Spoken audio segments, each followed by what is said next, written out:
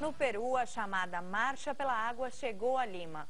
Os manifestantes vinham da região de Carramarca, ao norte do país.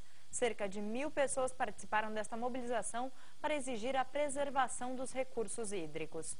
Os manifestantes exigem uma lei adequada que garanta a consulta prévia aos moradores sobre o uso do território e que permita estabelecer um fundo de compensação para enfrentar os efeitos da mineração na região.